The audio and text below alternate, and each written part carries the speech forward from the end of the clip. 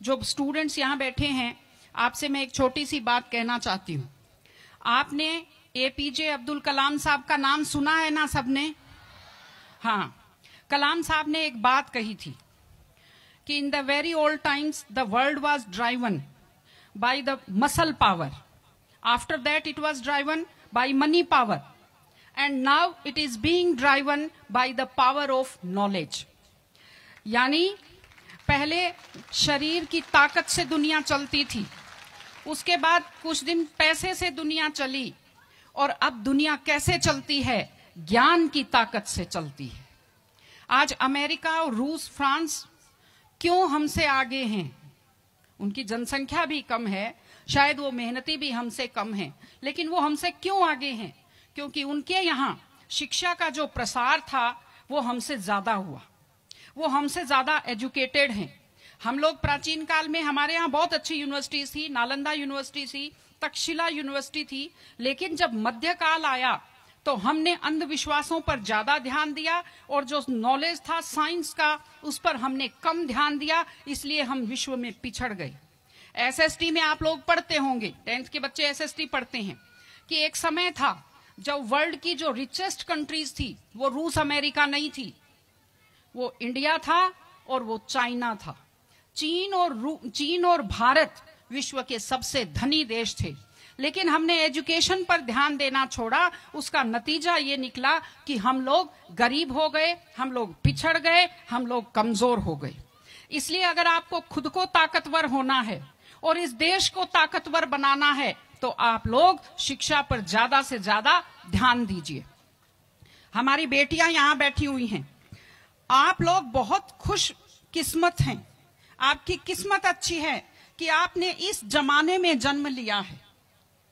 जब लड़कियों को स्कूल भेजा जाता है, जब लड़कियाँ बराबरी के अधिकार के साथ आत्मसम्मान से ज़िंदगी जी सकती हैं। मैं अभी सोफे पर अकेली बैठी हुई थी, फिर उसके बाद शिफा जी आए, और फिर उसके बाद संतोष जी आए तो हमें जगह हमारी बढ़ती गई। मैंने कहा, भाई, पुरुषों, सिंहासन खाली करो, महिलाएँ आती हैं।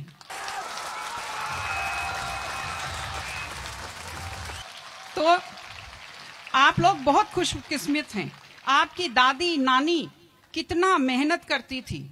सांस नहीं ले पाती थी खुलकर, घूंघट से चेहरा ढककर रखना पड़ता था।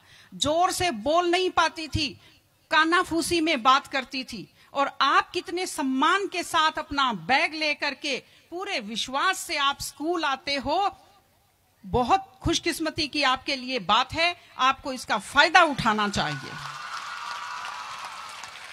आपको कोशिश करनी चाहिए कि आप एक मज़बूत नारी बने।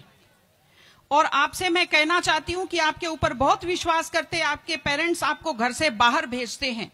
अपने माता पिता को हमेशा अपने मन में रखिए। दूसरी चीज़ आप बच्चों से जो कहना चाहती हूँ, आजकल क्या है? पहले तो घर में बहुत सारे बच्चे होते थे, संयुक्त परिवार होता था। चलते ही कोई सिर में थप्पड़ मार देता था, बच्चों को बुरा नहीं लगता था। टीचर्स की मार खाते रहते थे, हँसते रहते थे। आजकल एक दो बच्चे होते हैं, घर में बच्चे बहुत सेंसिटिव होते हैं। आप लोगों को जब आपके माता पिता टोकते हैं, आपके टीचर्स टोकते हैं, आपको बुरा लगता है। आपको बुरा नहीं लगना चाहिए। क्योंकि ये वो लोग हैं जो आपकी चिंता करते हैं। मैं आपको एक छोटा सा किस्सा सुनाऊँगी। एक गाय जंगल में चल रही थी, अचानक उसने देखा एक बाघ पीछे दौड़ा। गाय भी भागी जान बचाने के लिए सामने दलदल था, वो दलदल में थोड़ा चली, वो दलदल में फंस गई।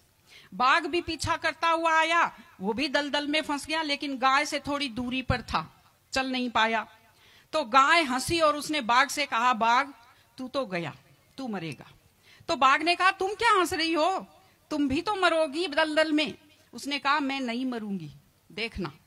शाम को जब मालिक ने देखा, गाय नहीं आई, वो दो चार लोगों को लेकर आया। जब देखा, गाय दलदल में फंसी हुई है, वो रस्से लाया, लकड़ी लाया और गाय को निकालकर बाहर किया। तो गाय ने बाघ को कहा, बाघ, तुझे कोई नहीं निकालेगा। मैंने कहा था ना, जिसको संभालने वाले होते हैं, वो दलदल में फंसकर नहीं मरता। आपके आपके जो टीचर्स हैं, आपके टीचर्स और आपके पेरेंट्स आपको संभालने वाले हैं। अगर आप उनकी बात मानेंगे, आप डांट के पीछे छुपी हुई उनकी चिंता को आप समझेंगे तो आप बुराइयों के और गलतियों के दलदल में कभी नहीं फंसेंगे। इसलिए अपने माता पिता को, विशेषकर अपनी माँ का चेहरा अपने दिमाग में रखिए, अपने दिल में रखिए कि वो आपके ऊपर आपके ऊपर कितना विश्वास करते हैं, वो आपकी कितनी चिंता करते हैं घर पे आपका इंतज़ार करते हैं, आपके लिए हमेशा वो दुआएँ करते हैं, आपके माता पिता जब मंदिर में जाते हैं, खुद के लिए कुछ नहीं मांगते, जब वो बचत करते हैं, उस पैसे से खुद के लिए कुछ नहीं खरीदते, वो पैसा आप लोगों पर खर्च करते हैं। उनकी इस चिंता को समझिए, अपने टीचर्स की चिंता को समझिए। मैं आप सबको बहुत शुभकामनाएँ देती हूँ कि आप लोग, आपकी बुद्धि तीव्र हो आपका मन बहुत समृद्ध हो, आपका हृदय बहुत संवेदनशील हो, आप ला, मैं स्कूल को स्कूल को मैं बहुत बहुत शुभकामनाएँ देती हूँ, टीचर से अपील करती हूँ कि व्यक्ति केवल शरीर और दिमाग नहीं होता, एक मन होता है, एक आत्मा होती है।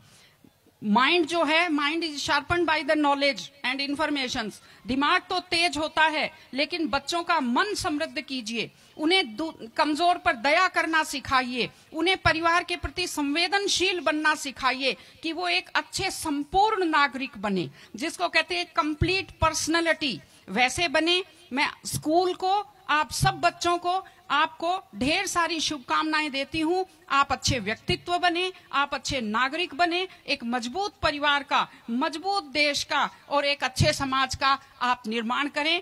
आपने बुलाया, हमें सुना, हमें सम्मान दिया। मैं हृदय से आभारी हूँ। बहुत बहुत धन्यवाद। नमस्कार।